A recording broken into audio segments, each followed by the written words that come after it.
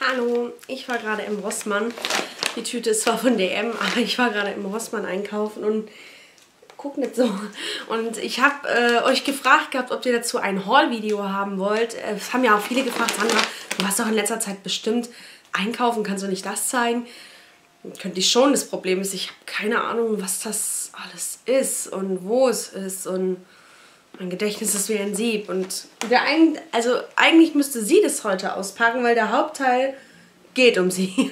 Mehr oder weniger. Gell, Pumi? Du rolliges kleines Ding, du. Ja! ja! äh, fangen wir mit der ersten Tüte an. Es hat nicht wirklich was mit Beauty zu tun, aber egal. Und bevor ihr fragt, ich habe mich jetzt schon mal ähm, bereit gemacht. Bevor ihr fragt, was ich auf den Lippen trage, das ist eine Astors äh, Lip Butter in der Farbe 015 Cheeky Sherry. Das ist dieser Ton hier, falls ihr fragt. Und diesen Schal, ich weiß nicht, wie der rüberkommt, der ist das eigentlich neonrot.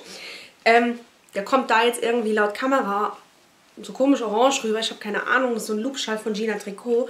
Den gab es mal vor zwei Jahren, der ist auch nicht mehr aktuell. Nur falls ihr es jetzt fragen wollt, Könnt ihr euch sparen. Gell, Pumi? Ja, sie sagt ja.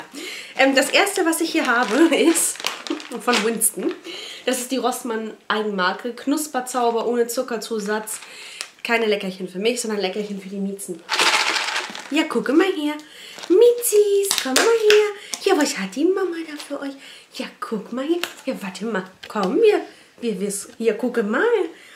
Was habe ich denn hier? Ja, was habe ich denn hier? Ja, gucke mal. Ist das nicht schön? Guck, Katz bedient sich gleich selber. Warum auch hier in die Hand geben oder so, wenn man es auch so fressen kann, oder? Ja. Mietz, willst du auch mal gucken? Dickes, komm mal her. Ja, komm mal her, Dickes, komm mal her. Guck mal. Ui. Ja, was ist denn das? Ja, was ist denn das? ja, siehst du, gar keine Chance. In dem Moment ähm, wo zwei kleine Rabauken kommen, hast du in dem Moment verloren.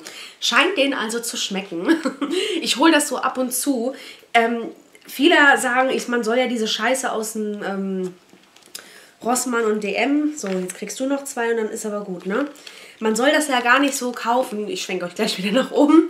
Aber, ähm, Moment, so, jetzt kommt ihr erstmal wieder nach oben. Ja, was habe ich jetzt hier angerichtet? Viele sagen, Schön gemacht. Viele sagen, man soll das gar nicht aus das Futter aus der Drogerie kaufen, weil da so viele Zuckersachen drin sind und es generell die Katzen nur noch verfettet und all sowas. Das Problem ist, ich habe es jetzt auch schon mal mit teuren Futter probiert, das rührt nicht an.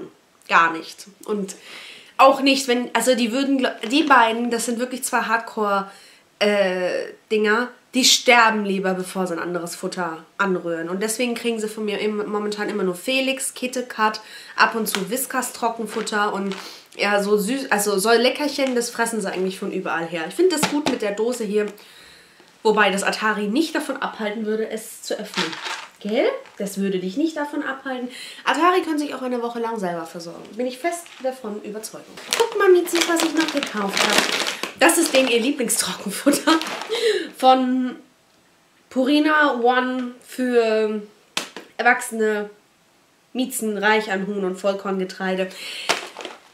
Sie essen einfach nichts anderes. Ich, also, ich kann auch nicht wochenlang zusehen, wie die nichts fressen oder sowas. Dann weiß ich nicht. Die Dicke ist nicht dick, die ist einfach nur kräftig gebaut, schon seit Jahren. Und die Kleine, die wird eh nie zunehmen. Also denen geht's gut. Denen geht's echt gut. Die kriegen auch zwischendrin gebratenes oder gekochtes Fleisch. Also so ungesund sind sie jetzt auch nicht, ja? Siehst da, da, da fängt es schon an. Wenn ich das jetzt so stehen lassen würde, würde Atari in ein paar Minuten das ganze Ding hier ähm, kaputt machen. Machen wir lieber schnell weiter. Dann habe ich wieder gekauft. Das ist auch ein Produkt, was ich sehr oft kaufe. Von Domol das Hygienespray. Damit ähm, putze ich persönlich ganz liebend gerne Türklinken ab, wenn wir hier verschnupft sind oder hört ihr auf. Oder das Klo mache ich sehr gerne damit sauber. Dann die Oberfläche. Ich weiß ja nicht, wie, wie penibel ihr da seid, aber aufgrund, dass ich ja in einem medizinischen Beruf gelernt habe, äh, ist Hygiene bei mir, wenn es um Fleischsachen geht in der Küche, so, so ein Ekelfaktor geworden. Es gibt ja ganz viele Muttis da draußen bestimmt so, ja, die waschen das Fleisch und dann legen die das auf so ein Zewa ab und dann wischen die mit einem nassen Lappen da drüber. Das ist für mich aber nicht sauber. Das muss es muss desinfiziert werden, mindestens damit. Und ähm, ich finde das ziemlich gut. Das ist auch nicht so, meiner Meinung nach, aggressiv. Und auch, weil, also wir haben, ich habe ja hier Fliesen überall in der Wohnung, selbst wenn die Gotze mal daneben macht, du lässt das jetzt zu und ich da wische, dann gehe ich da auch nochmal drüber und wische trotzdem nochmal drüber, damit die natürlich da nichts aufschlecken oder so. Aber ich habe das Gefühl, das macht es wirklich gut. Ähm, kostet 1,86 Euro, 1,80 irgendwie sowas. Ich finde es bisher immer gut. Dann, was habe ich hier nur angestellt? Habe ich gekauft meine Biomüllbeutel. Kennt ihr Biomüllbeutel? Sandra, was willst du mit Biomüllbeutel? Will ich euch mal sagen. Wir haben ja hier in Mannheim eine Biotonne. Ne? Äh, Biotonne, so. Und da darf schon auch nur Biozeugs reinschmeißen. Können wir das jetzt mal lassen? Und das Problem ist einfach, ähm, wie, wie will ich das hier in der Wohnung halten? Und ich habe so ein Eimerchen und wenn ich das da alles reinschmeiße, dann kriege ich jedes Kotzen jedes Mal nach ein paar Tagen, weil es anfängt zu müffeln ohne Ende. Und das hier sind ähm, kompostierbare organische Müllbeutel. Das heißt, die könnt ihr den ganzen Abfall da reinmachen und auch so in die Biotonne reinschmeißen. Da passiert gar nichts, ja. Ähm, ich kann ja mal, kann ich das jetzt so aufmachen? Ja. Warte mal, da kommt nämlich, die sind so Ach, jetzt habe ich es kaputt gemacht. Ich bin noch so ein Idiot. Jetzt ist eh, ach, was soll's, jetzt ist eh vorbei. Also das sind solche grünen Teile hier, die sind auch reißfest. Da passiert auch nichts und dann kann man das da schön reinfüllen und dann in die Tonne schmeißen. Ich finde das wesentlich hygienischer auch zu Hause, als jedes Mal einen kompletten Müllbeutel dann da irgendwie auch sauber machen zu müssen. Das ist mir ziemlich unangenehm. Und bevor du mich jetzt gleich in Ruhe lässt, es ja jetzt schon bereut, packe ich das jetzt wieder ein. So, und das auch. Und das auch. Nichts. Ups. Es tut mir leid für dieses chaotische Video. So. Ich habe es ja selber gemacht. So, und dann war ich, naja, es hat ein bisschen was mit Beauty zu tun. Und ich gebe es zu, ich habe das auch nur gesehen, weil es so hübsch geglitzert hat. Und gibt zu, ihr würdet da auch hinrennen, wenn es so schön glitzern würde. Es gibt was Neues von Glisskur, das nennt sich Hair Repair mit flüssigen Haarboschen, bla bla. Million Gloss Shampoo Hochkonzentrierter Glanz- und Tiefenrepair für stumpfes, glanzloses Haar. Meiner Meinung nach habe ich das ja. Im Prinzip habe ich ja momentan ein Shampoo von TG, aber ich möchte meine Haare vorher einmal, um das ganze Zeug vorher rauszuwaschen, mit einem normalen, billigen Shampoo waschen. Und das hat mich irgendwie so angelächelt, weil es hat so schön geglitzert. Ich bin da tatsächlich hin und habe dann so geguckt, sind da Glitzerpartikel drin? Nein, das ist nur von hinten so eine Folie. Aber ich bin ein Ver Verpackungsopfer. Haust du da ab jetzt? Oh, jetzt hat sie mich angefaucht. Sag mir was Neues, Atari. Fauchen bringt schon lange nichts mehr, seitdem du ein Baby bist. Und dazu habe ich mir dann auch noch die Spülung geholt für zwischendrin, weil ich möchte nicht immer nur die teure Haarkurve benutzen, weil das geht auch ins Geld. Ähm, habe mir das jetzt einfach mehr mitgenommen. Ich habe noch nicht mal dran geschnuppert. Oh, das riecht sehr...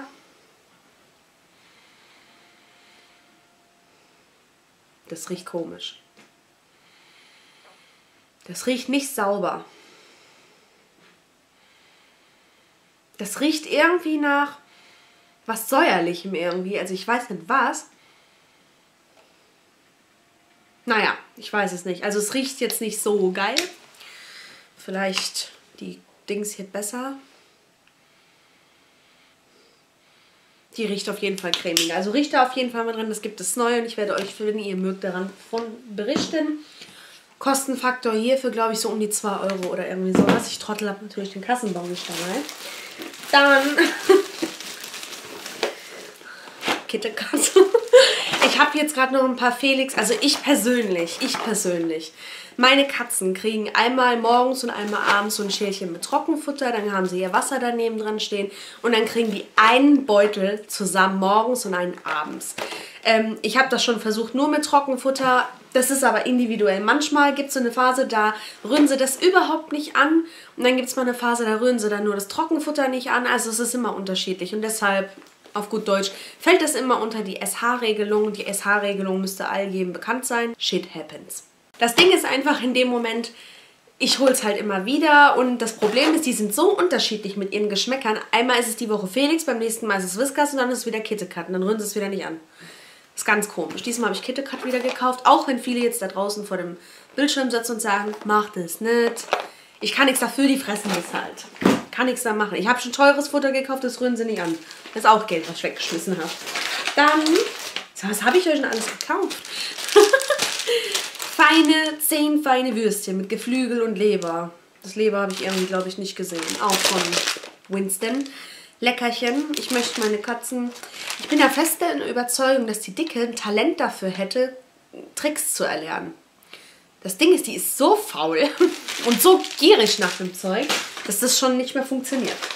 Dann habe ich noch so ein paar Snacks geholt für die. Das sind so Denta-Sticks mit Mineralstoffen, Vitamin A, D3 und E.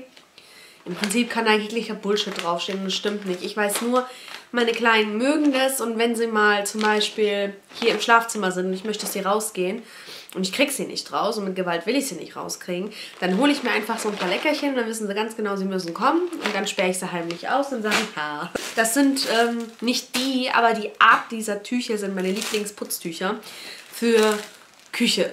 Also da verwende ich sie hauptsächlich oder für den Tisch abwischen. Das sind jetzt von Flink und Sauber so Schwammtücher. Die sind auch innen drin so ganz leicht feucht.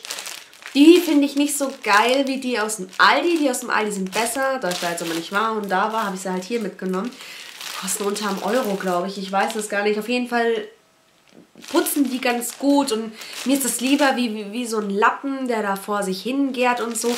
Und ich bin auch so jemand, ich benutze das und sobald es anfängt sich zu verfärben, schmeiße ich es weg und dann nehme ich mir ein neues. Also ich bin da irgendwie total, was Hygiene angeht, schon sehr rein. Dann, oh. egal. Ähm, dann habe ich mir äh, gekauft von Domol die Scheuermilch mit Zitrusduft. Das ist äh, keine Auswahl gewesen. Ich hätte auch die von Fiss nehmen können. Aber irgendwie dachte ich, für Scheuermilch, die du so selten nimmst, ich weiß nicht, probiere es jetzt einfach mal die günstige Version davon aus. Es gibt so ein paar Stellen im Bad, weil hier in Mannheim ist das Wasser extrem kalkig und ähm, die, die in Norddeutschland wohnen, die können das sehr gut bestätigen, dass das die Wasserqualität dort oben um einiges gefilterter ist als hier unten. Und wenn du da oben mal eine Woche lang bist und dir da immer die Haare wäschst, dann werden deine Haare so geil weich, weil das Wasser da einfach nicht so hart ist. Und Worauf will ich gerade hinaus? In meinem Badezimmer gibt es definitiv gerade in der Dusche, weil das Wasser auf die Armatur und immer auf dieselbe Stelle runterprasselt, geht da mit normalem Reiniger, geht da irgendwie gar nichts mehr und es ist so rau. Und ich möchte jetzt mal versuchen, ob ich das damit glatter hinkriege.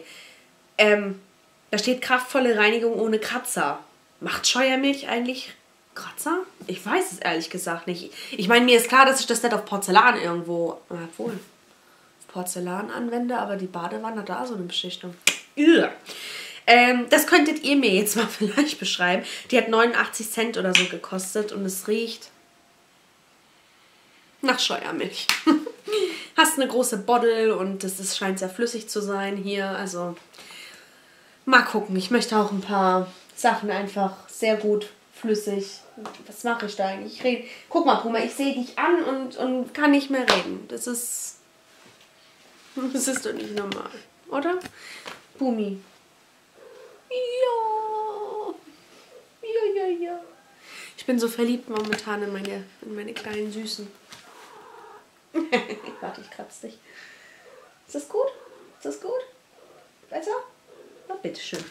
Dann habe ich mir gekauft von Frosch Soda Allzweckreiniger, kraftvoll gegen Fett und Schmutz. Ich hatte das letzte Mal, Moment, das sieht so aus. Ähm, ich hatte das letzte Mal so einen Reiniger für die Küche und auch fürs Bad von Mr. Muscle. Aber irgendwie finde ich das auch ein Tick weit teuer und ich, also ich hatte auch schon die ganz günstigen Sachen, die halten halt nicht so lange sauber. Das ist jetzt so eins, was so zwischendrin kostet, so zwischen einem Euro und zwei Euro. Ich, das hat 1,85 oder so gekostet. Ähm, die Marke Frosch ist ja eigentlich ja sehr bekannt. Da steht Bio-Qualität. Das heißt, das ist jetzt wohl auch für die Umwelt nicht unbedingt schädigend. Ich habe keine Ahnung. Ganzheitlich nachhaltig. Okay, das scheint wirklich nicht so ähm, die Umwelt zu beeinflussen. Ich habe keine Ahnung, müsste ich mir jetzt alles durchlesen, mache ich jetzt aber nicht, aber es ist ein Reiniger. Ähm, warum das? Es war blau. Irgendwie ziehen mich ja bei Putzsachen auch Farben irgendwie an, ne? Und wenn es gut riecht, ist es die halbe Miete. Und das riecht so extrem nach Meer irgendwie. Das riecht irgendwie voll nach Meer. Ich weiß auch nicht. Das wollte ich auf jeden Fall für die Küche benutzen. Ups, oder auch mal für einen Tisch oder irgendwie sowas. Das hätte ich jetzt nicht machen sollen. Auf jeden Fall möchte ich es dafür gerne benutzen und bin gespannt, wie es ist. Aber das von Mr. Muscle, das war sehr gut. Aber das ging auch sehr schnell alle. Und mein letztes Produkt ist von Fizz Easy Clean Bad und Dusche. Weil da hatte ich schon den günstigen Reiniger, der am nächsten Tag hast du wieder Flecken, der bringt gar nichts. Den von Mr. Muscle fand ich gut, aber, oh mein Akku, fand ich gut, aber ähm, war mir auch zu teuer. Das ist auch wieder so eine Marke zwischendrin. Mein Akku ist jetzt leer, deswegen beende ich schnell das Video. Ich hoffe, ihr seid beim nächsten Mal mit dabei. Duft war hier eigentlich auch ganz gut, hat auch so um die 1, 2 Euro gekostet oder so. Und ich hoffe, wir sehen uns beim nächsten Video. Macht's gut, tschüss!